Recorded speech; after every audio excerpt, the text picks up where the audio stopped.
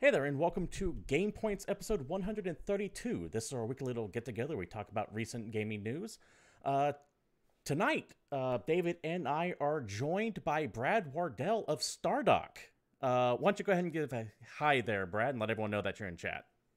Hey everyone, how's it going? Uh, if this seems to be a bit of a more spur of the moment kind of thing than we used to do, it's because, well, I didn't know we were doing this until about 20 minutes ago. so, so I do want to extend a thanks to Brad Wardell out there for joining us. And for those who might not know, why don't you give a quick sundown of who you are and what your relation is to Stardock? Sure, I'm the uh, president and CEO of Stardock. I founded the company back when I was in college in uh, the early 90s and uh, we are a software development company that makes uh, everything from PC software like fences and window blinds and and uh, Object Dock, and of course PC games like Galactic Civilizations, Sins of a Solar Empire, Offworld Trading Company, Ashes of Singularity, and as of September 20th, we will be releasing Star Control Origins. And that is actually why we're here tonight. Apparently, there's some uh, legal situations going on with the Star Control franchise, who owns what, what's going on. It seems to be. I mean, you're you have you're very confident that you have this sorted out.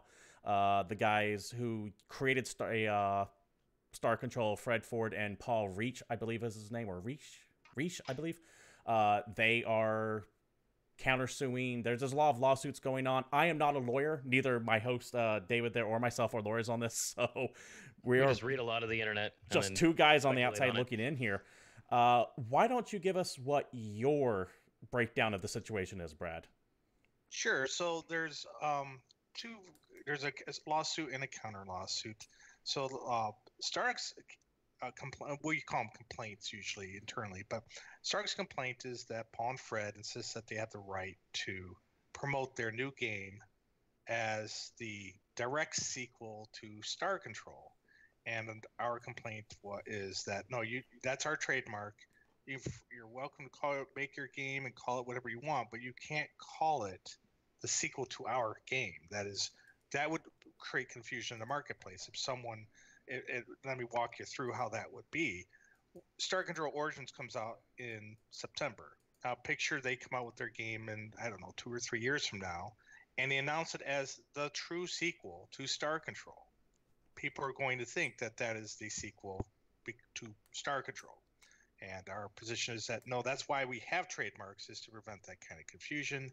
Their counter argument is essentially, uh, no, we have we have the right. We're going to continue to do that, and in fact, they filed a countersuit to try to cancel our trademark.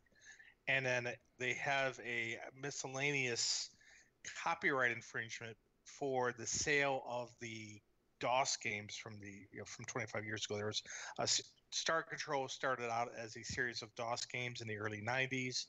Uh, when we assumed the contracts from uh, Atari, they included a uh, contract to sell and distribute the old DOS games. So we we did, and they are they said you can't sell them. They we asked them, well, why do you say that? They said, well, the license has expired, and we asked them, well, can you explain that?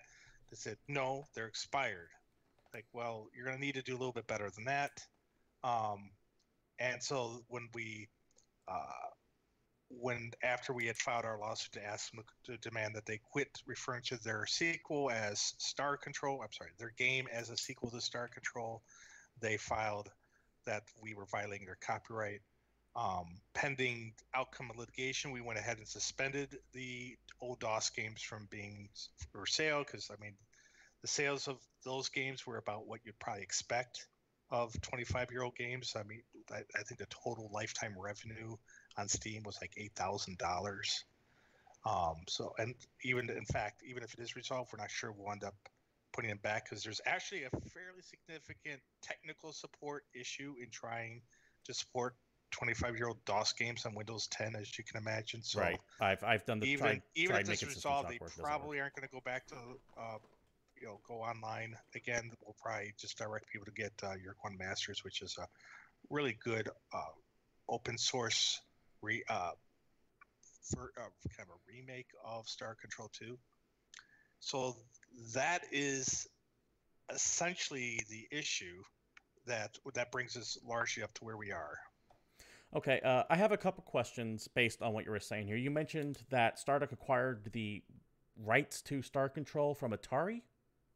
Yeah, the uh, the trademark, the, tra- Okay, the trademark. to Star Control and the uh, copyright to Star Control Three. And So that, that's a big issue. Go ahead. What's that? My apologies. Go ahead. Oh, I was going to say at the time that that consisted of 100% of the registered IP for Star Control games. Um, our position is that we don't own any of the copyrights that we know of in Star Control 1 and 2, the first two games in the series. So we've been very careful not to use any of that because we don't know who owns what and that. That part is messy, which is why we've tried. Right, to- because if I recall, and once again, I'm not a historian on this, it was originally published by Acclaim and then licensed to Acclaim, and then when Acclaim yeah. went under, Atari picked it up, and then Atari got bought out by Infogrames, if I recall. Uh, did you get the license from them before or after Atari got purchased by Infogrames? Well, so it's Accolade back, back in the day. Uh, they own the trademark and the copyright to Star Control 3 and the trademark for just Star Control. And I let me, let me pause here real quick. It's important to stress that copyright and trademark are two extremely different things on the legal side of things. I know, like on this show, I tend to use them erroneously interchangeably, but once you start getting to the realm of law, they are two completely different bags. Oh, I see people mix up. I they'll say the trademark and the IP, and trademarks are a type of IP. There's three people. There's three main types of trademarks that we hear about. You have trademarks, copyrights, and patents, and together that is known as intellectual property or IP. So uh, back in the day, uh, Accolade contracted Paul Reiche as who was an independent contractor. So as an individual, there was no actually no Toys for Bob or anything in this. It was just Paul Reiche to uh, deliver a game to them, and then he turned around and got a bunch of friends to work on the game uh, with him. That include Fred Ford. So Fred Ford was not part of this agreement. It was just Paul and Accolade and then they delivered a bunch of uh, they delivered the game to them and accolade called it star control they trademarked star control and um, you know, and then for star control 3 paul and fred were apparently not interested in working on star control 3 so uh, accolade went on and made star control 3 without them and then down the line accolade got bought by Infogrames. Remember Infogrames? and then Infogrames rebranded itself as Atari. And then Atari we acquired Atari, the rights from Atari. A lot of these The, uh, the ends up rebranded Infogrames into Atari. Right, exactly. Okay. Infogrames and Atari are the same thing. It's just they Infogrames acquired the Atari. Right. brand Atari used to exist as one company and then Atari. went bankrupt and then got bought by Infogrames, who then changed themselves to Atari. It's it's that's part of the reason why this is so messy, is because multiple companies that were involved with this have since been shuttered. Oh, that that's pretty common. I mean, a lot of these older IPs. I mean, I was thinking about the other day about how many things over the years where some part of it has gotten went out of. Uh, you ever looked at the Star Trek IP? Yeah, uh, well, the, in, in general, any video game made in the 80s, that was the wild west of copyright and trademark. So that's why people are like, why don't you remake game X? Well, it's because 20 different people might have a claim to the rights holders and none of them know what it is. Oh yeah, look at Master of Magic. Yeah. Uh, no one knows who has what rights in Master of Magic, and that's why you've never seen a sequel to it because nobody knows. Or even more contemporary with Battletech and Robotech between Harebrained Schemes, uh, Piranha Games, and Harmony Gold. Yeah. which that's just and so it's all nuts. Uh, but so uh, Paul Friesch said, "Hey, there's we we have claim to this." Did they ever prevent pre- present any legal documentation showing this, or did they just say we have claim to it and that was the end of the story? Well, claim to.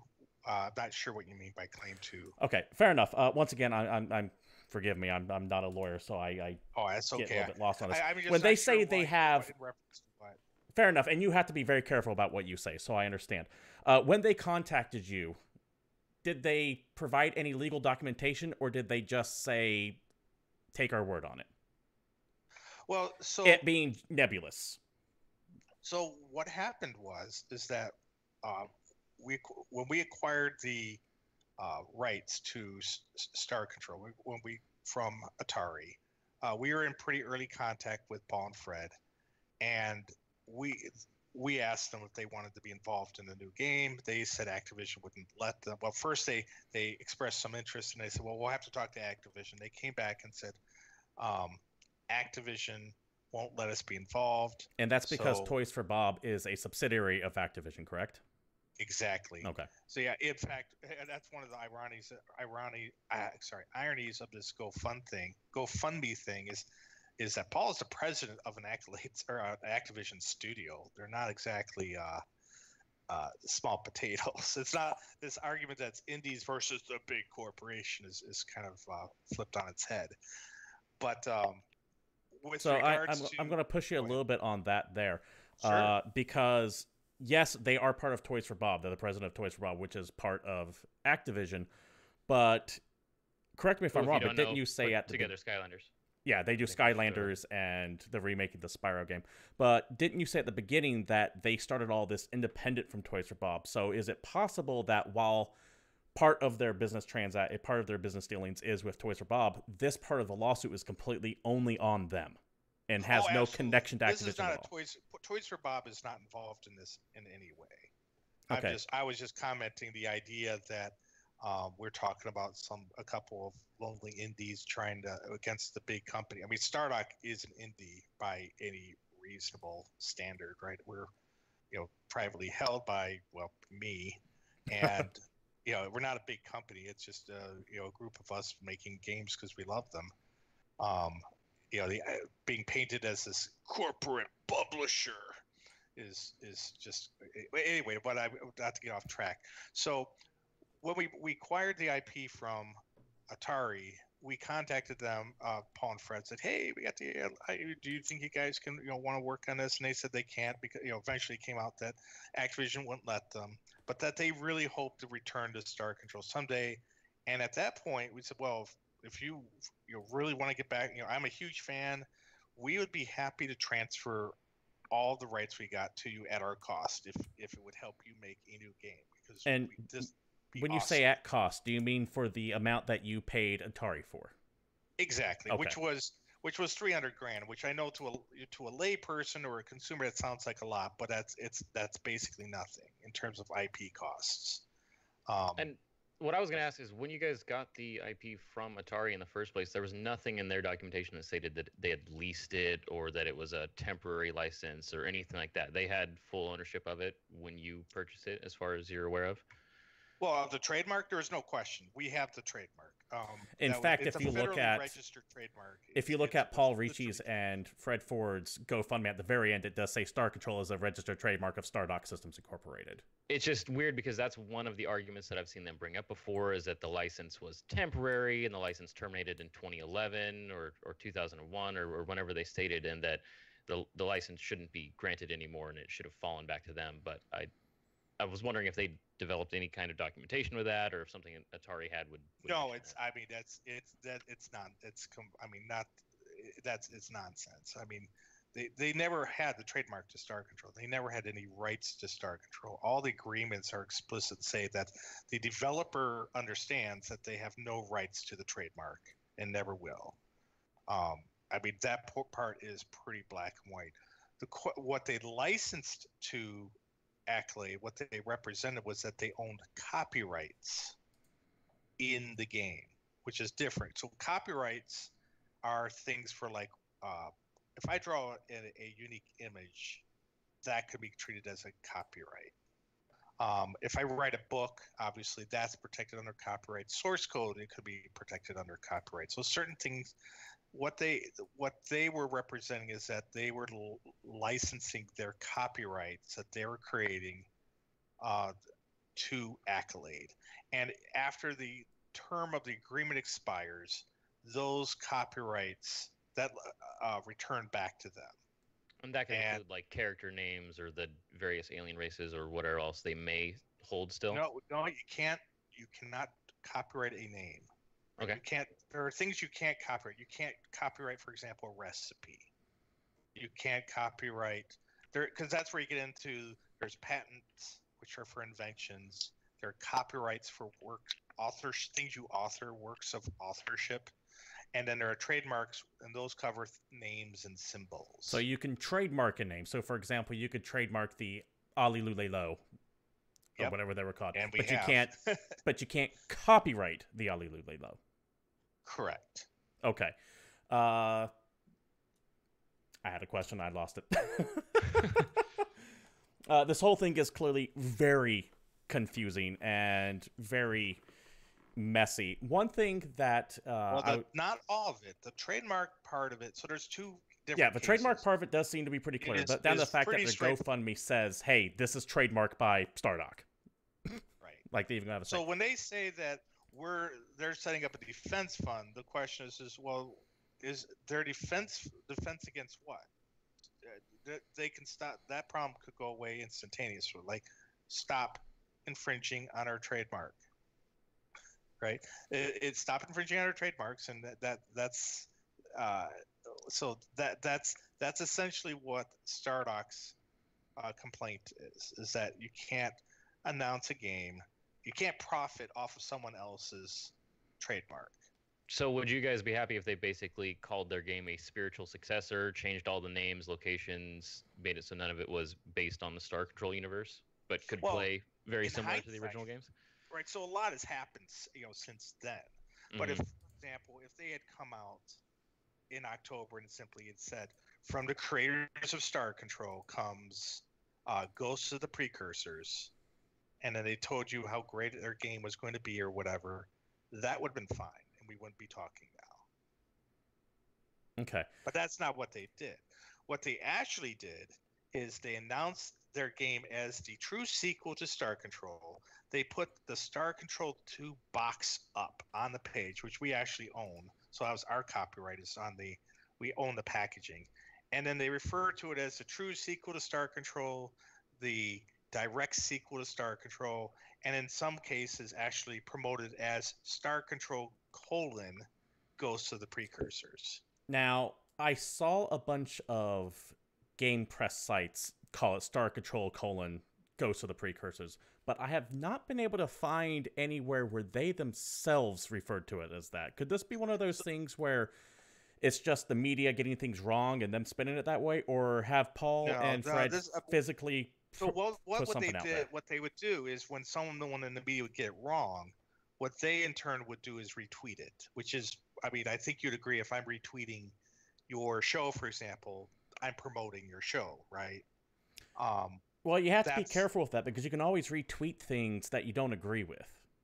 Because no, by, by that it's a- logic, you it's can. not Re- an endorsement. Retweeting obviously is not an endorsement, but if you are, eh, eh, so then, the- but the question then is because it ultimately a jury jury will be asked this: Would they consider what they did to be promoting? Right? If you see that they're retweeting uh, articles that are calling it Star Control colon Ghosts of the Precursors, and then their commentary is the true sequel to Star Control is coming. Would you consider that promotion, you know, promoting it as that name? And that's a question a jury will ask and be answered. I mean, be asked to answer yes or no. Um, what and in trademark law, the question is always comes down to confusion. The like, I don't know. Have you guys ever been on a jury for anything?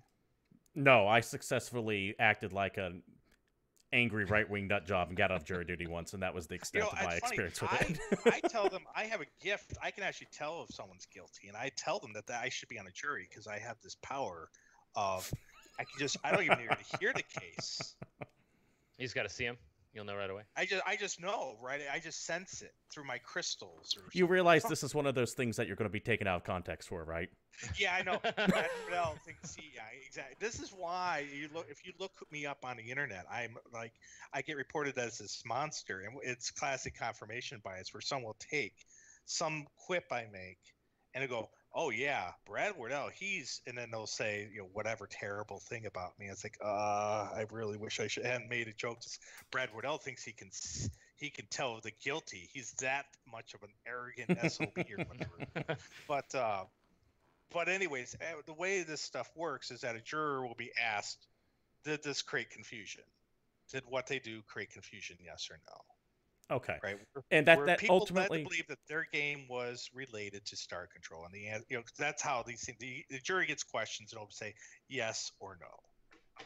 Right. Ultimately, it doesn't matter what the uh, may or may not have been said. What you're saying is what matters is was there intent to mislead, or even maybe not Well, intent, that's but actually a is that issue. okay? The question is the one. So the first question is, uh, were people confused? Were Okay. people confused? Did people think that their game was related to Star Control? Then the second question, the follow-up question is, did they do it on purpose? Did they intend for their game to be presented as being related to Star Control? Is and it that's up. I mean, I obviously have my opinion, but that will be. is it your opinion that uh, Paul and Fred are deliberately trying to conflate their Ghost of the Precursors with Star Control Origins? Not Star Control Origins, just Star Control. Just Star Control in general. Okay. Yeah, I I think that when they promote their, I think that. So if I'm asked, are they intentionally trying to promote their game as the sequel to Star Control? I would say yes because they are claiming it is the sequel to Star Control. Okay. You know, in their own words. Okay. Uh, there is one thing I did want to touch on real quick. I know you said you had to go in about 15 minutes. It's been about 25, so thank you for that. But there is one thing I wanted to touch on. Uh, what kicked off this entire topic for me, what we were going to talk about, was their $2 million GoFundMe lawsuit that they're, or GoFundMe page to, to countersue you guys. Uh, and it all stemmed from what I found out about was from a Polygon article. Now, in this article, it says that Stardock's suit alleges that Ford and Reiche have no claim to Star Control trademark, nor did they contribute meaningfully, meaningfully to the creation of Star Control or Star Control to the Ur-Quan Masters. Uh, it's that last bit I kind of want to focus on. Uh, do you Sure. f- do you feel that these two guys did not contribute meaningfully to Star Control games? No, I, I, I think they're instrumental to them, and that's like if you can read it, it, is not say it doesn't say anything like that. What it says in the actual now, the, for one thing, there's the issue that they really pulled on that's that they got sensationalized is that Paul and Fred refer to themselves as the creators of Star Control, which is a, a title that they only recently started claiming for themselves. But now, when we're talking lay people, you know, for the average, for people just talking, that I don't, I don't care. I mean, who, who's who's going to begrudge the two most instrumental guys in the development of that game as calling themselves creators? I, I certainly don't. I've referred to them as the creators countless times. The issue comes up is when they try to you promote that in commerce and, and imply that they alone were the creators of it. Because legally speaking and this is where look lawyers are not pr people right? I mean lawyers there's a reason why people have the opinions of they do of lawyers. I mean if i had you know uh, if i had had pr people looking at it i would certainly have made sure that they they wrote it differently. But in legal terms creators are normally means authorship. They own the copyrights tied be to it. Well, no, no, no, no. Ac- the uh, Accolade technically created Star Control. Now, and, and it's sort of like when people correct you on saying, "Well, technically, that's what you're talking. It's not a theory, but a hypothesis." Right? Have you ever seen people make that ar- Right, argument? And it's like, so it's a kind of thing where it says, "I have a theory that da da da da da," and then when we're, if we're just talking, no one cares. But if you're at a scientific conference or you're in a a legal situation and you say, "Well, my theory is such and such," that that someone's gonna you're gonna get someone who's gonna go, "No, no, you see, uh, you- you're technically that's a hypothesis, not a theory. You see, because a theory has to," and that's essentially what you have in the legal document, where it's like uh, essentially, you know, the lawyers being a little pedantic, maybe. And saying, well, now technically you're not really the creators because the, uh, uh, you know, accolade is the one who created the trademark Star Control, whereas you are technically the maybe the creators of certain intellectual properties. With and it's like, you know, your and then your eyes start going in the back of your head. Uh, what you know, I mean, it's and but if you're if you have an axe to grind, if you really want to to take that snippet and go the town, you could say, "Aha, Stardock's trying to say that they didn't even work on the game barely." And it's like, "Oh, come on." I mean, one can just look at the credits on the game and they know that look, Paul Reiche was the lead designer and it's it, Fred Ford was uh, credited as as the lead developer. Okay, right? that, that's and that's just what that's what I wanted to clarify to, to find out if that's what you felt or not because reading stuff, uh, just my quick cursor research online, it sounded like you were saying that they were minimalized in what they were making, which to me would be the equivalent of saying like Ken Levine didn't create Bioshock or Shigeru Miyamoto didn't create Mario or Hideo Kojima didn't create Metal Gear. It felt like you were kind of taking that path on there, which is kind of why I wanted you to state clearly what you well, meant by that's that. The, we and then when people say, "Well, Start," I is like, look in a in the loss of if you read the things that they claim about me that their lawyers have written about Stardock, I mean that could be cherry picked to death. Um, I think you get into a case where some of the some people in the media are choosing to run with this. Not first of all, they uh, Paul and Fred did something that I've not run into before. Is they literally hired a crisis PR firm to promote their lawsuit, which I've actually never seen anything like that.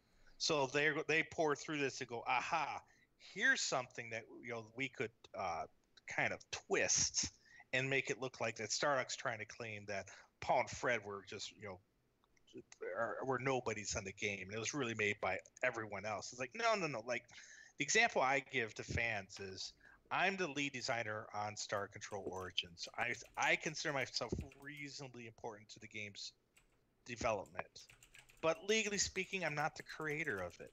I don't have I have not created any copyrightable material, and legally speaking, a creator is another is a legal term for author right? Like if i author a book i can say i'm the creator of it legally because right. that's that's the euphemism so to speak. And i'll admit that's where a lot of my confusion is coming in is that we have terms that we use in our modern vernacular right? But then yeah, those don't always mean what they mean in the legal sense. Exactly. What we use in our in common ta- discussions and what's when and when you get into a federal court case are different things. They use very different terminologies for these things. And to try to cherry pick what's in a legal document and say, aha, you see, they really mean this in the common, you know, vernacular of it. Um, that's not really being fair. That's really not. That's I think that's pretty intellectually dishonest. Okay.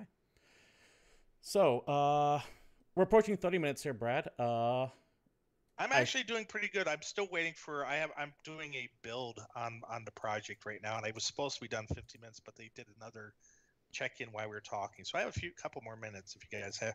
Yeah, you know, like I said, feel free to grill me as hard as you want on on this, or if any of your viewers fair, wants. Fair want enough. Uh, I, I did open up chat two questions, so we'll see if anything comes in. One thing I want to uh, mention real quick is that in the GoFundMe page, because that is what I know that this has been stretching back as far as legalities go, I want to say since October or November of 2017, correct? Yeah. But well, I mean, nothing got filed until uh, I think December. Okay. Uh, so either way, we're kind of six months to seven months into the legal issues, but this entire situation stretches back 25 plus years as to who owns what.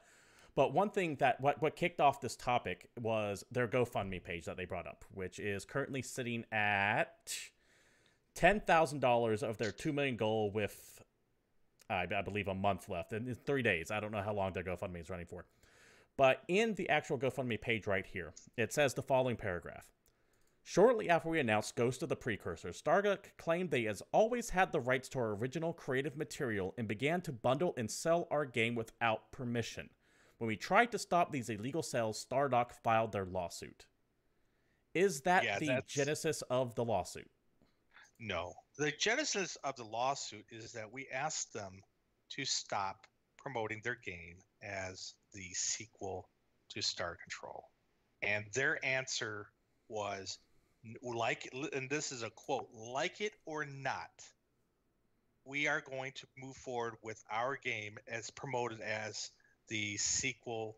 The, I'm sorry, the direct sequel to. I'm not paraphrasing, but um, the direct sequel to Star Control, and we expect resistance. Can that quote be found anywhere, or was this a phone it's call? not not publicly.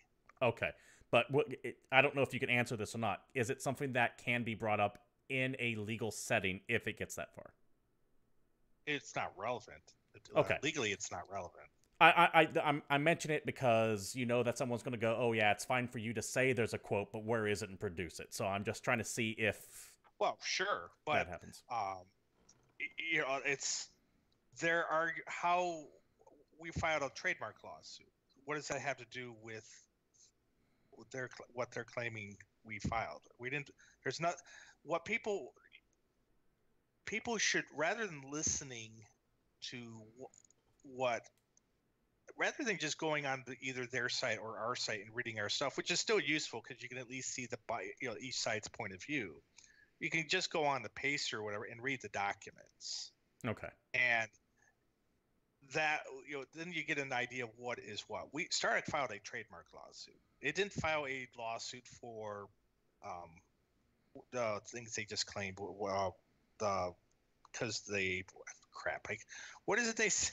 Because we, uh, because they got mad, or because we got mad at them for something. It was look, you refused. They they reserve the right in the future to promote their game as the direct sequel to Star Control, and that was a big issue. There are the other, but that wasn't the only issue. I don't want to oversimplify it. There were other issues such as they're making vast claims on our game, demanding private builds. They were demanding uh, we take out features like our ship designer. Our games have ship always have a ship designer going. If you said you play Galactic Civilization, so you're familiar with that. Our with our ship Yeah, designer. David played Galciv. Yeah, so I mean, our, our games have a ship designer. It's kind of a thing with our games. They demand we pull that out because someone might make a ship that looks like one of their ships. Or uh, They- in fact, I remember there being a nasty, well, not nasty, but a brief exchange between you and J. Michael Straczynski at Babylon Five over creating a Star Fury in Galciv Three, I think, and he did not care for much for that at all. Yeah, some guy, yeah, fan had made a Star Fury. Well, actually, he was Isn't okay that the with point it. of a creative por- portion of any video game is so you can try and make other parts of your other favorite games or franchises? It sounded whole like he thought maybe you guys were selling that as one thing, but when he realized it was a fan thing, but but the, the Yeah, point is, this is something you guys have had for a this while. was just a fan thing that someone made with our our tool set. He was okay with it. He, Okay, I, I've known, okay. I've actually known GMS since the Usenet days. I mean, I don't know him personally, but I mean, I've interacted with him since the old days. Yeah, he's he's- been around he's since before the internet was the internet. Exactly. He's a, he's a really great guy. Um, but yeah, but so you had all these claims that they're like, well, we think we have rights to your game because you have these. It, it'll be these vague things that you can't copyright. You can't copyright ideas. You can't copyright themes or. Um, you know, like Star Control, Star Control is a game about space exploration and, and adventure. You can't copyright that um, you can't protect that. I mean, otherwise, Angry Birds would be in very big trouble. and and so we, but I, so at the same time as they're uh, uh, making these claims, they file a DMCA takedowns of Star Control one, two, and three. Now, Star now, this Control was 1 to have the sale of the games on Steam and GOG and other marketplaces removed. They filed the claim first. Yeah, they filed the DMCA takedowns first. Their lawyers sent scare, you know, the usual scary letters to GOG and Steam, and told them you have to take the games down. They did, and I think uh, uh, uh, one of your, you know, someone listening to this could make the, who's familiar with all this could say, could make the case. Well, you know, Star Control One and Two, they made those games, or you know, quote unquote, they're the quote unquote creators of them, or what have you. Okay, but they didn't have any involvement in Star Control Three. And then the argument that their fans will say is, aha, but they had copyrighted, they had licensed copyrighted material into Star Control 3. Therefore, they had the right to pull it down. Well, I, I would, I think there's some argument of what copyrighted material there is down, but let's go, let's, for the sake of argument, give them that. And the problem with that is like, but they're also saying that Star Control Origins has their various copyrighted material because it has a ship designer and they didn't like the way the the cruiser of the Earth, the Earth ship's cruiser looks, and they don't like you know the, this all this stuff that isn't protectable under copyright. It's just their vast expansion of what they think copyright is. Well, now we have this issue where they're they're claiming to be the sequel to Star Control, and they've shown a willingness to file DMCA takedowns on a pretty flimsy thing, you know, flimsy arguments what happens if when Star Control Origins comes out, they try to file DMCA requests against that using the same argument? That have was, have they was... moved to take any legal action against Star Control Origins, Origins yet? No, they have not. Okay, so this And- has and been solely point, focused on be- one, two, and three. Yeah. So if the because a lot of people ask, well, what happens if each side wins? Well, if they win their suit, we would not be able to sell the old DOS games. That's that's their best case scenario. They're trying to cancel the Star Control trademark too, but that's I mean, like I said, you can go on to that trademark has been in effect. You said that you're so confident in that, that you're willing to talk about owning that trademark in a an ongoing legal case on a rank amateur podcast. Yeah, exactly. That's that is a you know that is a that is never going to happen. Um, if we win our trademark suit, then they have they can't obviously use our our trademarks in the future, and they'll- would have to pay damages for um, you know for any damages in terms of lost sales due to confusion, which you know would be up to us and to prove in court. You have to And, determine what is owed, what might have been costed in loss of sales, etc. Exactly, and then I, but I think you can make the argument that the, the, the confusion is such that they've done, especially. I mean, you've you heard this has all been covered on Polygon and all this other stuff. Who owns Star Control? uh, All this confusion they've brought in, probably shaved off you know a few percent of our sales, and not to mention all the ill will it's created and all that good stuff. Now, so, are when when you're Sure. saying damages, uh, are you considering like the sales of Star Trek one, two, and three part of that, or are you referring specifically to the damage done to the upcoming Starcraft, uh, Starcraft, Star Control Origins? we're talking about the damage to Star Control Origins. Is that Okay, because earlier you said the sales on Steam for their lifetime is maybe eight grand. Right. I mean, there's really no point. It would cost more to file the motion to get damages for that than the damage, you know, than it would be worth. Okay. I do have a question from chat, it looks like, from a DDS translation. He says the following, or they say, or she says the following. I was wondering, what would the process of applying for a Star Control license have involved, and why would Paul and Fred not simply have just done that? That is a great question. So, in in 2013, after we got it, we offered to transfer to them for our cost, which was three hundred thousand dollars. They could have had it right then. That's how much you Um, paid Atari re- since Reaper, the new Atari, for the entire thing, for for what you have. Yeah, and, and back in October, you know, back when all this started, you know, not, and unfortunately, we're I'm very limited in what I can discuss in terms of if it. I have to stay way away from anything that talks about settlements because there's a uh, court order that prevents discussions on settlement discussion. Okay. So, um, so if I were to ask what would be a fair settlement for you, you couldn't even comment on it. I, know, and I, the worst part is I'd love to talk about that, but um, you know, we're not even allowed to talk about it because what one of the things they did, the thing that got them the most traction, and this is something that is pretty aggravating, is that so in these cases the court requires parties to to hand over to turn uh, send back and forth um, settlement ag- uh, proposals.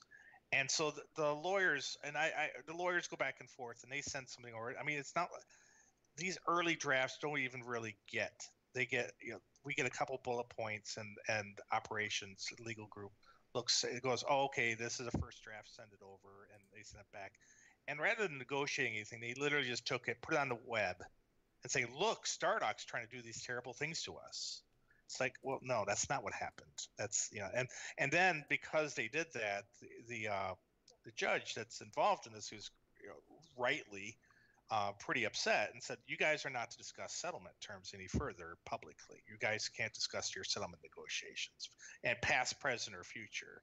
And so now we can't even discuss like, oh well, we're trying to you know to offer X, Y, and Z, but they don't want to do this because um, that would uh, that would violate the court order. Okay. So so for the most part, the judge just came down and said you can't even hint at what, what might be going on at that point because of what you're saying Paul and Fred did.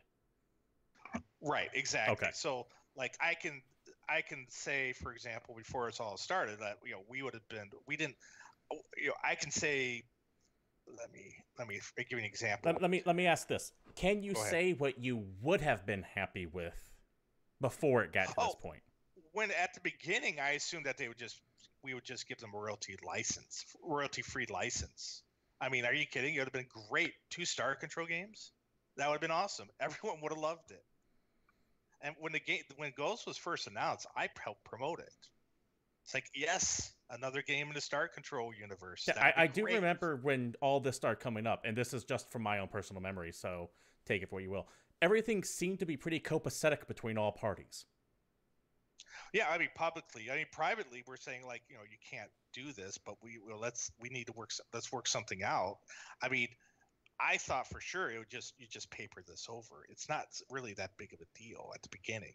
It's just when they started uh, saying, well, no, we have a right. We're going to totally go and keep doing this, and we're going to and they start attacking us in the press. I mean, I think that your viewers or and and listeners can can go to that look page and, and judge for themselves like is this a page that is going to make it easier for the two parties to talk to each other and try to work something out? Or is this something incredibly inflammatory that makes it that much harder for the parties to talk to each other?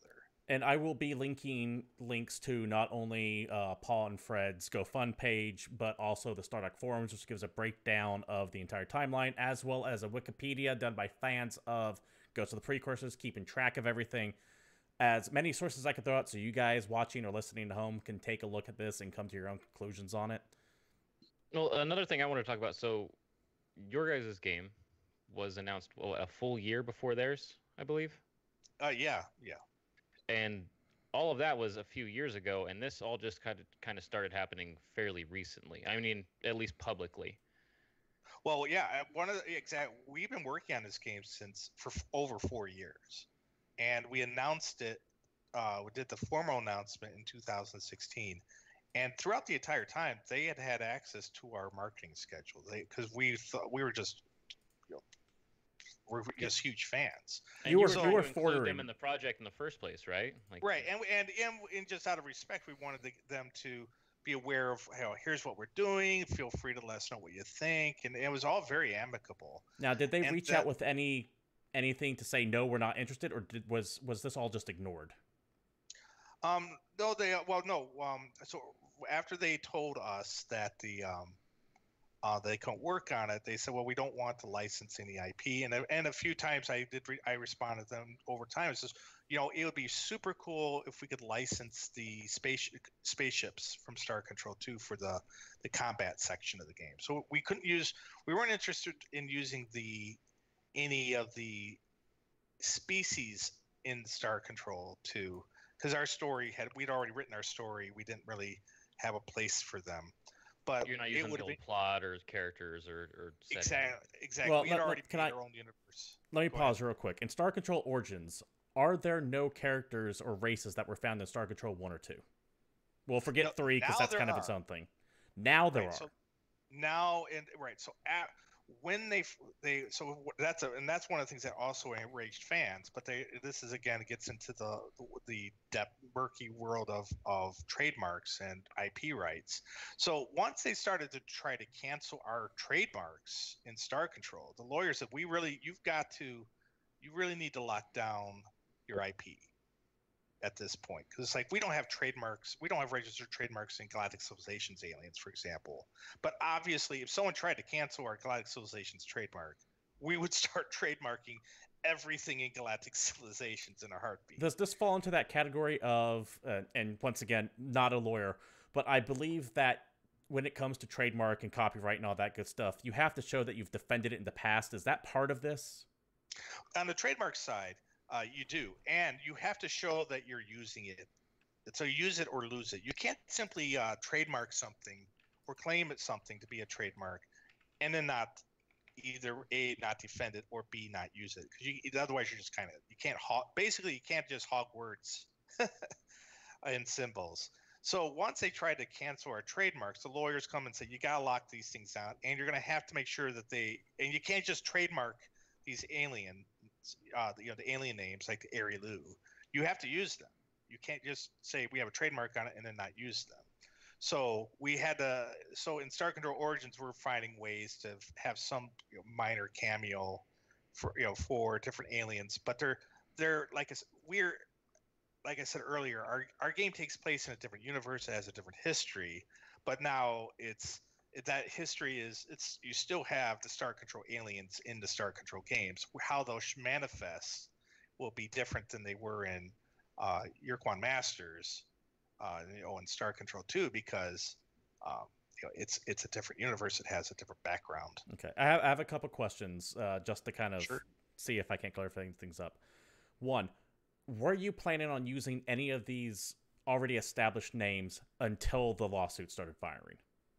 No, no. Okay, so this was the the the the, the established names were added as a way to help legally protect your claims to the the trade the trademark. I, I forget the terms. I Well, apologize. that's that's probably a little bit oversimplified. So ever since we we started on Star Control Origins, our the fans have been we've gotten you know especially the hardcore ones were pretty unhappy that we weren't going to have uh, the aliens from Star you know the Star Control aliens in the new Star Control game because the argument was pretty straightforward. How can a Star Control game not have the Star Control aliens or the, like the like Orz Star or the androsynth or anything. What's that? be like a new Like Star the Trek Orz or the androsynth. Sorry. There we go. Yeah, exactly. It's like Star Trek not having Klingons. How can and and so at for years our we maintained a position of look, our goal is that if is we're leaving the door open for Paul and Fred to someday return to the franchise. So Okay. we don't want to touch on those aliens. But Is that a Uh, I- possibility still? What's that? That that they could return to the franchise. That if all this gets put aside and a couple years pass and time heals all wounds, all the cliches, would you be willing to welcome their input onto the franchise? I don't know. Um, I mean, I don't, I don't have a strong opinion on that right now. I have a well, I mean, right now they're they're comparing me with uh, an evil space corporation, and and Yeah, I, I think the term not- they use in their in their GoFundMe was uh, the Crimson Corporation. Yeah, and and they Google bomb my search results for my name, which was is kind of tacky. Okay. Um, but so, but who knows in the future? I mean, I, I for us, this isn't like a matter of principle. We have, we, you know, it. There's a human aspect to this. We we have spent four years of our lives to bring back Star Control. The game is really, really good. It's it's it captures that spirit of Star Control 2. We've we've spent millions and millions of dollars on this game, and then right at the eleventh hour, you know these guys come out who worked on the game 25 years ago and they and they you know they you know they i mean they're my heroes but- they come out and they go oh well we're making the real sequel. So you know the true and direct sequel to star control. Oh and, and it's like well, why would you do that? Why why right now? Why not wait a year you know until we've had our day in the sun so to speak if you want to do something and work something out with us I- i- Is it just the called you back timing? and made the sequel to your new game? Yeah. Well, well, it's just so confusing. The sequel, yeah, it's just so confusing. Is it mainly just the timing that that seems to, to to be the crux here? Because if I recall, they made this announcement roughly around the time you guys went to early access of Star Control Origins. Five days before they knew that they knew when we were putting our, our what our announcement. If they would have if they would have made this announcement six months prior or six months after, what what do you think it would have gotten this far? I don't know. It all depends. I mean, not in a million years would I have thought that they would come out and actually claim to be making the true sequel to Star Control and then put the Star Control 2 box. I was just like floored and like, okay, this is bad, but I'm sure we can paper this over. We can just work this out because at the end of the day, the fans will generally be pretty happy that there's two Star Control games coming out And that that was but then it's my like, next. oh no, we want nothing to do with you, and we're the real Star Control. We're just not. But it's okay because we're not going to use the word Star and Control as the title of our game. It's like, well, that's not how trademarks work. Right. It's about confusion. So why? It, do you? I'm trying to think of a way to phrase this without sounding like a total ass. Uh, well, I, I, I'm going to go a different way. I think that uh, this is interesting to me because a couple years ago we had the Bethesda lawsuit against Mojang when they were making scrolls, saying that that was too similar to the Elder Scrolls, and they won that because again that was like a trademark style lawsuit, and this is way more black and white seeming that they use the actual Yeah, name, I mean, and I not always just thought using that a they- similar that sounding Bethesda was name. stretching. Yeah, and yeah, I always thought that there that was a bit of a stretch, but I mean, in this case, it's and like, they pulled it off. Right.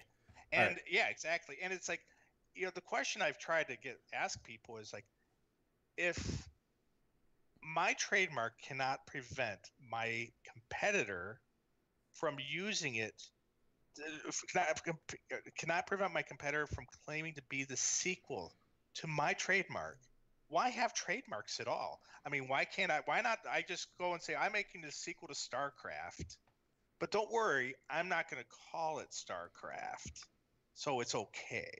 It's like, no, of course not. You can't do that because it's gonna. It would create immense confusion. It would be like George Lucas saying, "Well, I know I so, don't have the rights to Star Wars anymore, but I'm I'm, going to making the make the true seven?" sequel to Return of the Jedi."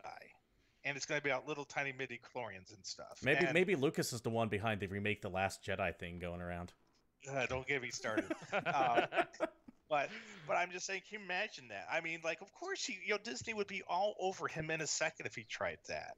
And it's like, and it's not like we like instantly came down on them with a hammer or something. We're like, hey, please stop.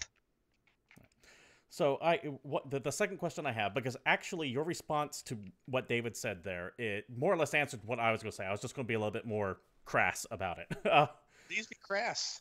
uh, well, I was going to ask you, don't doesn't all this seem petty? But you kind of answered why it's a little bit beyond petty there. My next question though is you said that all this is in a separate universe and a separate setting from the Ur-Quan Masters, and it's it's kind of a reboot of the franchise. But why is it called Origins in that case? Because Origins, to me, and this is just a personal thing, makes it sound like you're trying to fill in the gaps to the main universe. It doesn't sound like it's very apart. If anything, it sounds like it's going to be directly tied into what Paul and Fred did already. Sure. Well, the the intent with origins is that the origins are actually these precursor structures in Star Control to allow you to visit other universes. So one of our one of the parts of our of the business plan for Star Control Origins, or you know, for the franchise, because this is an issue all RPG game. You uh, you guys play a lot of RPG games? Uh, way more than I should. Well, so you know one of the problems with the RPG games and why we're not getting as many is because they come out and then they're done, right? And it's really hard. That's why, like, I, one of my favorite games is Bioshock and Bioshock Infinite.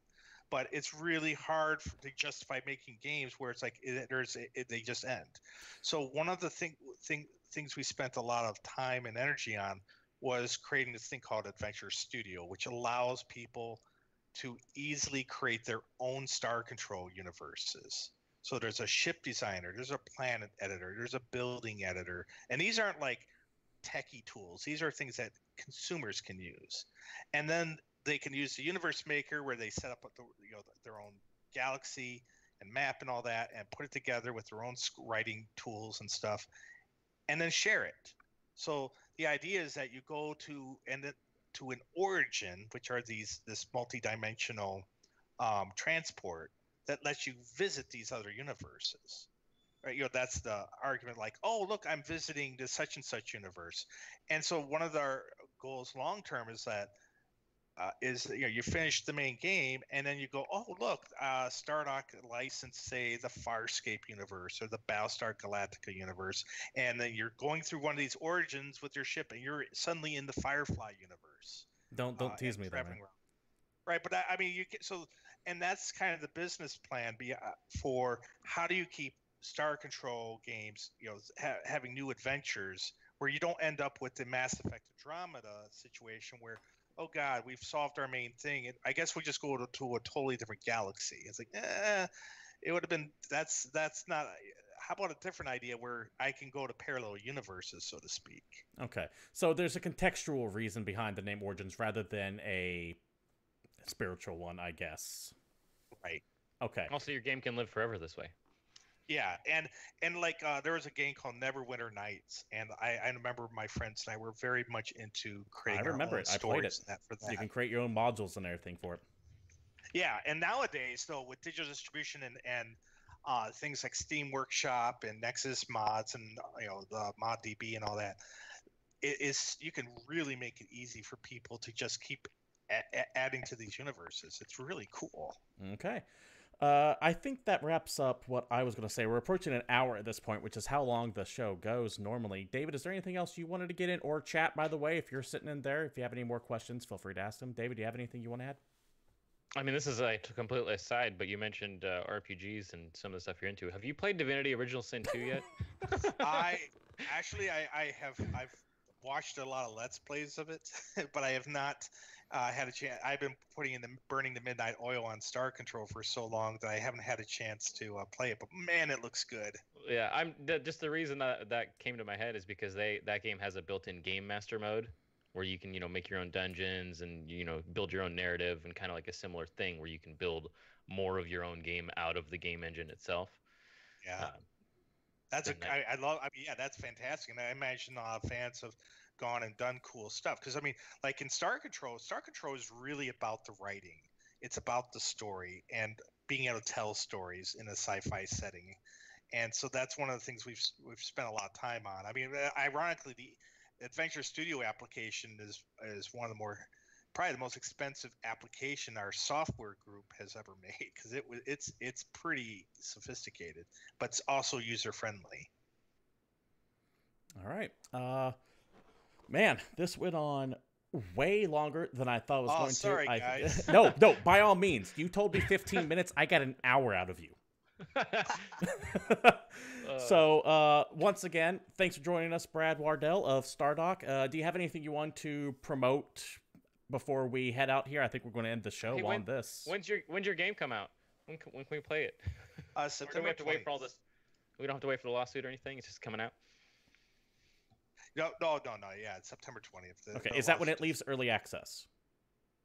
Uh, it's not in early access. I could have sworn it was in early access. I swear to God, it no, was in no, early we have access. uh, just you can pre-order it and you can get access to the uh, Fleet Battles beta. That's what it is. Okay. Okay. Uh, so once again, thanks. Uh, if you're watching, if you're wondering why I didn't have anything popping up, this was very last minute. I want to thank Brad Wardell again for showing up literally at the last minute on a fluke of an invite, and uh, thanks for joining us. Like I said, I will be putting all the descriptions to links, uh, forums, and wikis so you guys can read the lawsuit more in depth if you so choose. It is exceedingly complex in 25 years of who owns what and defunct companies and rights transferring from A to B. And there's more than just one topic that's at stake here, I think, when it comes down to the overall lawsuit. Uh, Brad, once again, thanks for showing up at the last minute. For those of I you got who are one watching, last. I got one last question. For he's got one last question. All right. This this one's always fun for me because you've worked on a lot of games. You've been doing this a while, and people ask developers, you know, what's your favorite game?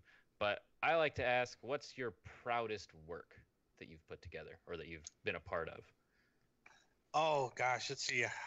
I would say, I I know this is gonna sound goofy, but the the first Political Machine uh, game was really really enjoyable to uh, work on. This is the one from back in 2004. I actually forgot you guys worked on that because it's so outside your normal wheelhouse.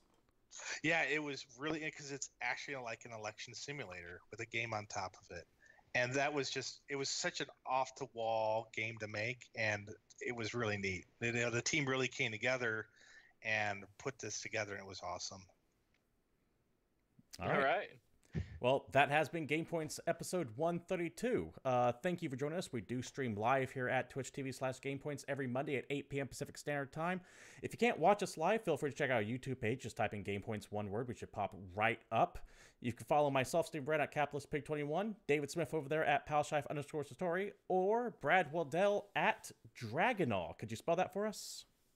Oh, uh, wait, uh, for wh- Your- Brad Your Wardell Twitter, and your Twitter handle.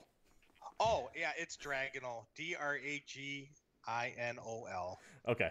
Yeah, I'm going. I go really fast, so I'm sorry if I. that's all right. Start up. He's been practicing. Anyways, with, uh, Thank you for watching. ads. We will see you next Monday, and until then, we're out of here.